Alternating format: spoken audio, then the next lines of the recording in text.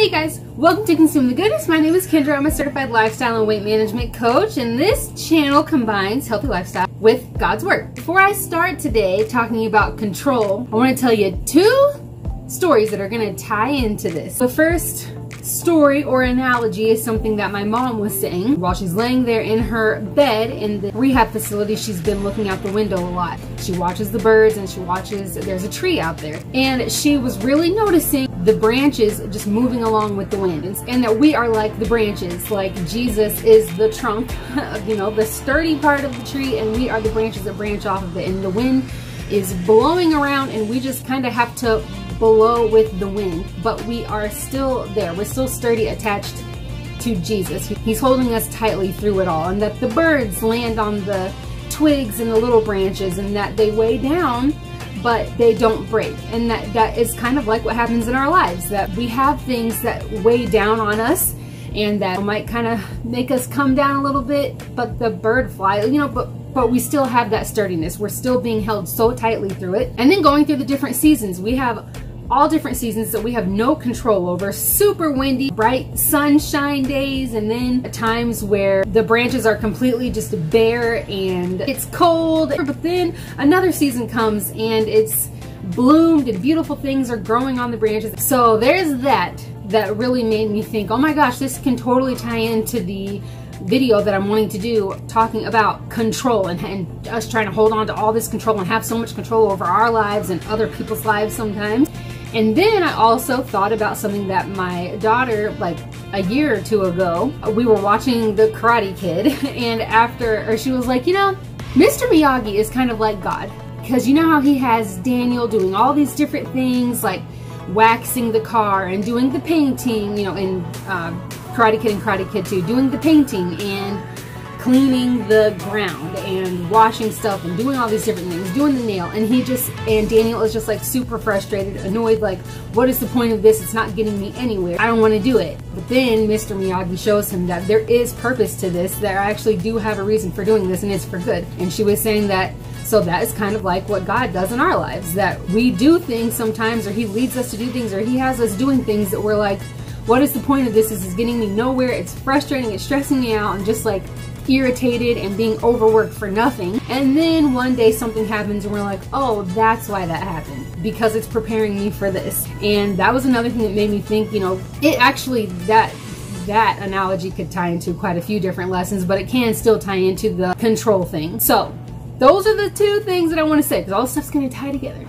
Okay, so all this stuff is just something that, just stuff that I've been thinking. And does this tie into a healthy lifestyle? Yes, of course it does because when we are super trying to hold on to all kinds of control and then stuff doesn't go our way and we're all bent out of shape, that just drives our cortisol levels up, which isn't good. And you know what? I was thinking when I was coaching in Arizona in like 2014, 2015 for a couple years when I was coaching there, before we moved, I used to talk about cortisol levels all the time, like all the time. I would talk about that with clients because they would be like, I have, you know, I'm like gaining weight in this belly area and my upper back area, and that is likely due to high cortisol levels. So high cortisol levels, not good for our health. And if you're trying to lose weight, that really can like slow that process down. But besides that, it is good for our lifestyle. So that's what I'm talking about this stuff. Okay, so I've just been thinking about when we try to control things all the time and other people who try to control things and try to control every little bit of their life. There are plenty of times, maybe not in your life specifically, maybe it's not all the time, maybe it's just sometimes, or maybe it happens and you don't even realize that it's that you're doing it. But trying to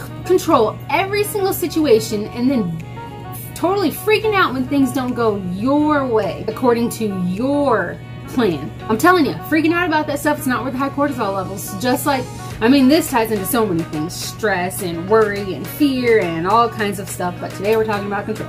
We really don't know what exactly will happen in any given day. We can have an idea, we can have a plan for things, we can have an idea, you know, have like a routine for things. It's good to be organized and prepared, but if slash when things go off track, it's okay. It is. It's okay. And you know what? There are actually plenty of times that we can look back at those off track moments and see that they were actually necessary for the greatness to, you know, for something great that follows it. Even if things were to get terrible, like the worst that they've ever been, You are taken care of. Your Father in heaven knows what He is doing. He knows what He's doing. I promise you. Choose to put your trust in Him and know what it means to experience fearlessness when crap hits the fan in all in any situation. What awesome comfort it is having confidence knowing that you are okay no matter what. Even in death, even when you don't have control. Don't be so bent out of shape when things don't go your way. Trust that it is for some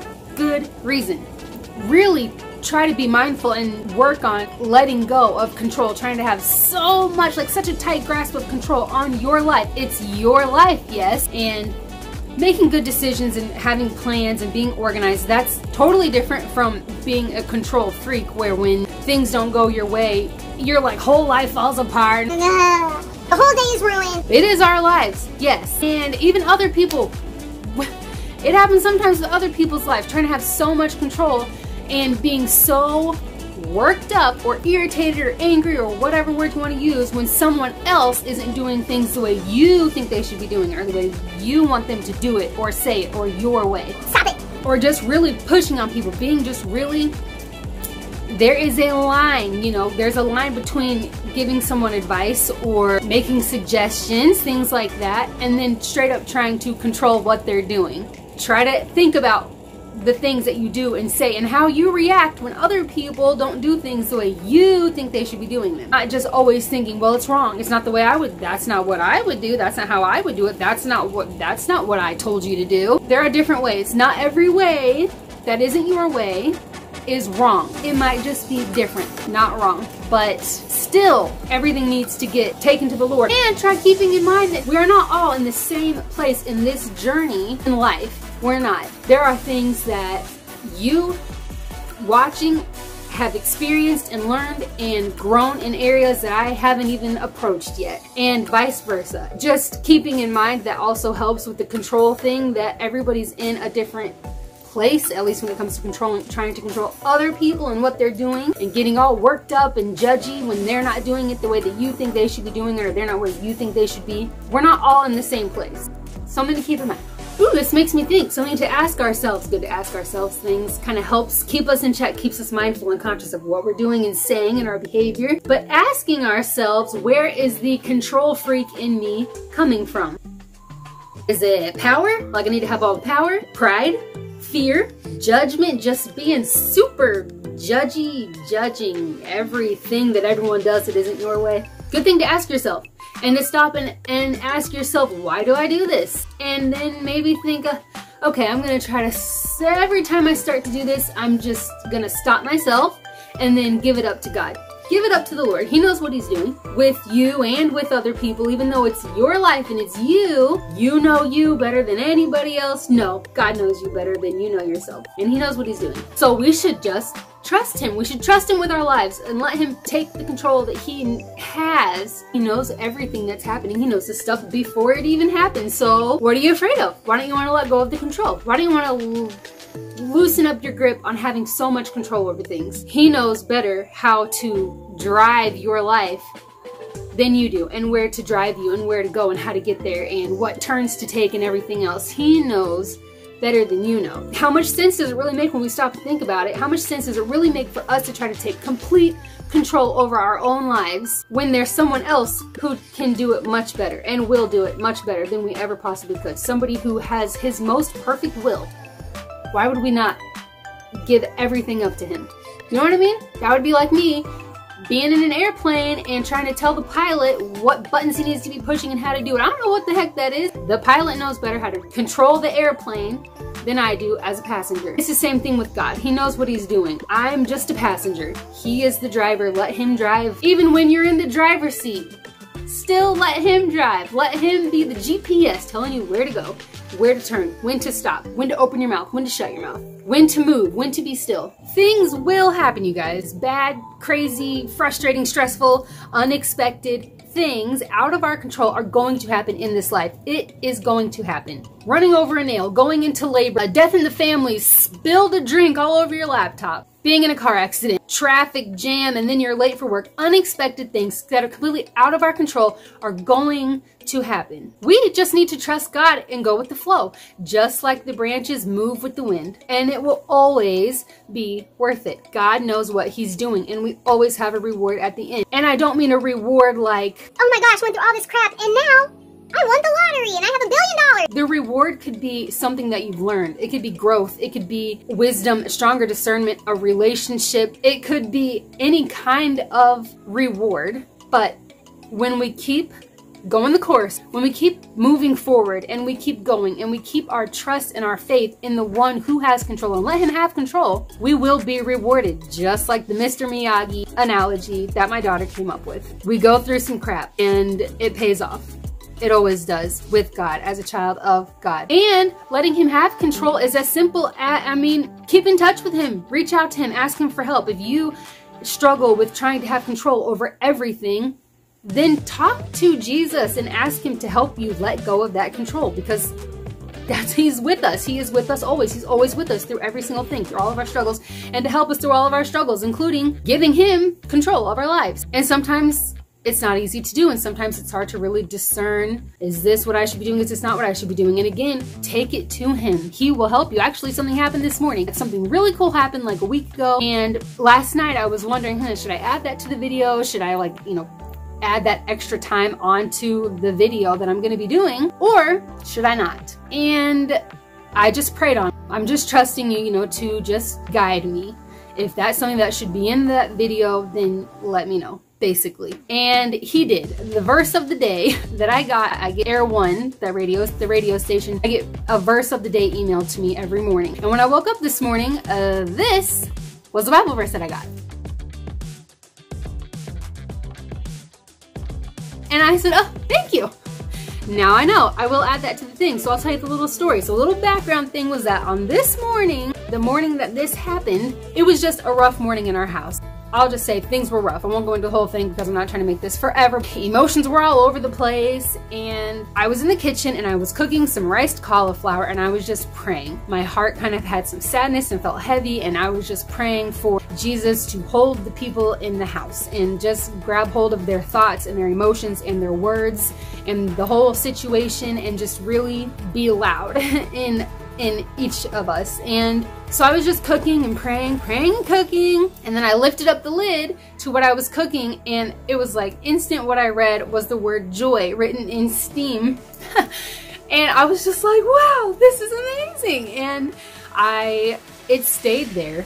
I put the lid back down, I lifted it back up, I put the lid back down, and then I was like trying to take pictures. It was really hard to capture it with my camera because I have the light, you know, in the kitchen and so there was a glare. It was really, really hard to capture. Even in the, what I'm going to show you, the picture and video of it, you can see it, but it was even more clear in real life. But I was still able to capture it with my phone. So I took pictures of it and then I like recorded my lifting up the lid to see if you can see it that way. And after I was able to kind of capture it good enough to for it to be seen, it was gone. It went away and the whole lid filled with, you know, it was just looked like the rest of it, just steam. I couldn't see the word joy anymore. And I was thinking, oh my gosh, I wonder if, you know, is it possible that the reason why it stayed there long enough for me to take all those pictures and record it and everything to try to get it was because God wanted me to share that. You know, this is a really cool thing. And to me, it was just really it was so cool. It was such a cool way for him to answer a prayer actually because I was praying that these certain emotions, the sadness and the upset emotions in people in the house would be taken out and replaced with peace and just all kinds of things that we can that we get just from him. And then joy is the word that came and i instantly felt joy that's for sure. I went upstairs and i shared it with the rest of the family and then it's like the whole atmosphere in the house was just lighter and it was better and that whole day was awesome which is great because it seems like another example of you know what Satan meant for evil bad moods and just you know all the stuff that was going on in the house that morning to basically ruin the rest of the day and God said nope I'm gonna turn this into a really cool story and the rest of your day is gonna rock. So here you go. It was so cool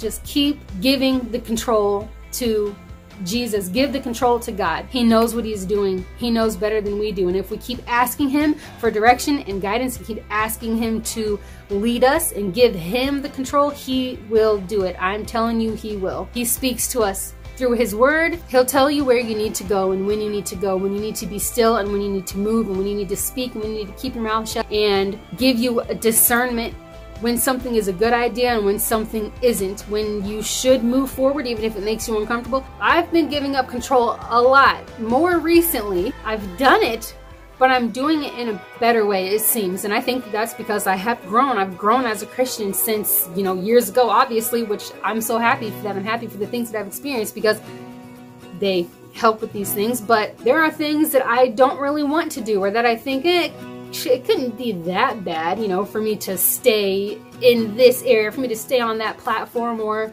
for me to do this or not do that. And I pray and I ask for, I'm just constantly asking for direction, for discernment, for confirmation, and I get it. He's so faithful to to lead us and to be with us and to let us know when what we're doing is right and when it's wrong. Whether we, we want to have the control and say, no, oh, that's fine. I, you know, I know that I, I can whatever. Let go of the control. He knows what he's doing. Even when it's something that you, maybe it makes you uncomfortable or that you don't think is a very big deal if you just keep doing it your way. Or you really don't want to do something like, no, I, I really don't want to not be there around those people anymore. I don't want to move away. I don't want to whatever. But God is making it so clear that this is what He wants you to do. Do it. It will be worth it. You might not know what, why it will be worth it right in that moment, or even like the next week. It might even be two years down the road before you're like, oh my gosh, this is why God was really leading you to do this or not do that. I am encouraging you guys to just give up the control. And I pray that for myself every day. His way, His timing, and to just be using me as a tool. That is a prayer that I pray all the time, and I know I've said that to you guys before. But to just every day be be praying and letting Him know, I trust you. I give everything up to you. My my house, my finances, my business, my health, my children, my family, my friends, my everything the little things even the things you know my vehicle i give up to you. The potholes in the road every little thing. The tires on my car i give it all to you and just take control of my life. I, I do not want things my way or in my timing. I want them your way in your timing and just use me. Work things and set things up and line things up father in a way that glorifies you Use me as a tool to glorify you. And he is faithful to answer those prayers. I'm telling you, I know from experience. It's great. This was a little bit longer than I actually thought it was going to be because it was just kind of like me thinking about control and then I just kept talking, talking, talking and